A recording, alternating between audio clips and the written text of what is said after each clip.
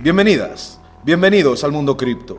Con Bitcoin llega una revolución mucho más grande que la que se ha liado con Internet a principios de siglo.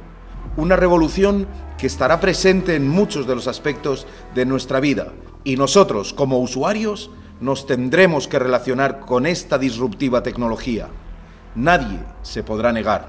Así que, si estás interesado en aprender paso a paso y desde cero todo lo relativo sobre la blockchain y sus hijas, las criptomonedas, te recomiendo que prestes atención a este vídeo.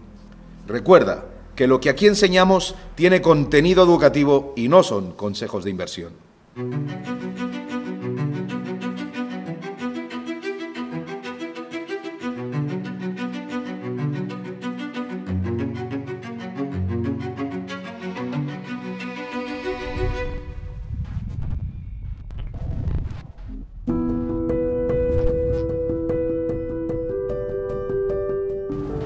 En el capítulo de hoy vamos a hablar de Bitcoin de una manera mucho más coloquial.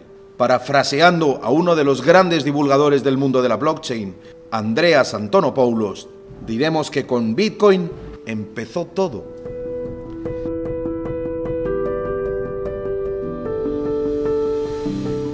La mayoría de la gente piensa que solo es dinero digital, pero es mucho más. La creación de esta moneda virtual fue la primera de las aplicaciones. Después vinieron las blockchains de segunda generación y luego los smart contracts como impulsores de muchos más proyectos. Nunca antes en la historia se había construido algo así. Una organización abierta, descentralizada y con una escala de tal tamaño que hace posible que cualquiera y en cualquier parte del mundo tenga acceso a esta tecnología. Imaginad lo que supone la utilidad, la conexión y todas las posibilidades para los 6 billones de personas que no tienen el privilegio de acceder a la banca tradicional. Poder mandar o recibir dinero desde los países más remotos o acceder a préstamos sin necesidad de pedir permiso, esperas u horarios. Bitcoin viene a dar cobertura a todas estas personas. Es el dinero de la gente. El dinero es una forma de comunicar tan antigua o más que la escritura, y con ella comunicamos valor. Desde el trueque hasta los metales preciosos, pasando por conchas, plumas de colores, grandes piedras, hemos realizado intercambios de bienes tangibles. Cada cambio fue un shock para la sociedad. Bitcoin supone una transformación de la tecnología del dinero muchísimo más salvaje. El dinero ahora es información, es un tipo de contenido, una transacción que se podría hacer por cualquier medio o conexión. No es como el dinero que conocemos. Imaginad cuando aparecieron los primeros automóviles. Eran lentos, se averiaban, consumían mucho, además eran muy difíciles de conseguir. Se les atacó por la cantidad de accidentes y reparaciones, los sucios y ruidosos que eran.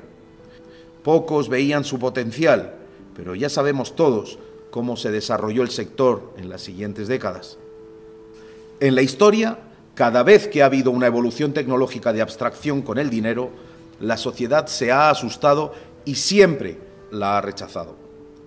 Esto es ilustrativo en el mundo de la tecnología, porque siempre pasa y siempre se repite una y otra vez.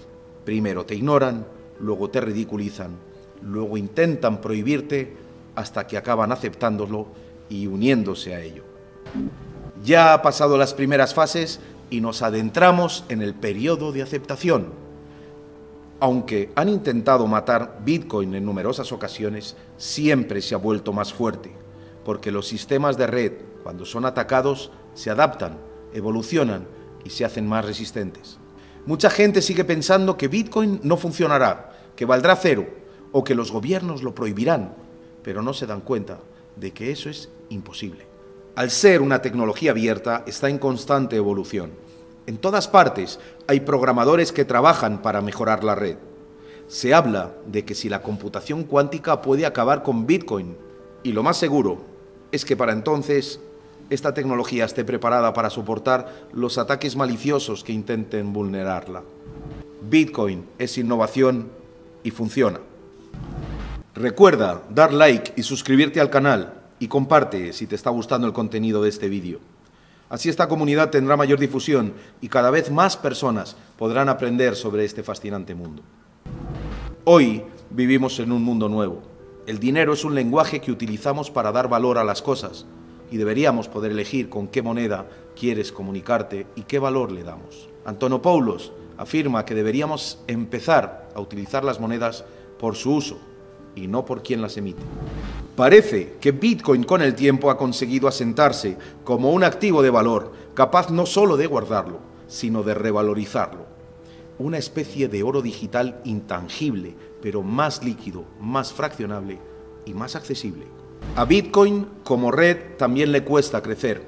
Es de esperar que, al igual que con Internet, los próximos años siga afrontando los retos de la escalabilidad, lo mismo que en los primeros años en los que se pensó que el correo electrónico acabaría con Internet debido a la gran cantidad de información que en esa época tenía que soportar. Bitcoin no se va a ir, no va a desaparecer. Contrariamente a lo que muchos pretenden, irá adentrándose en la epidermis de todo lo relativo a los hombres. Blockchain y Bitcoin son instrumentos de desarrollo universal y estudiándolas será nuestra mejor arma para ser cada día más libres y progresar en armonía. Hasta el próximo capítulo.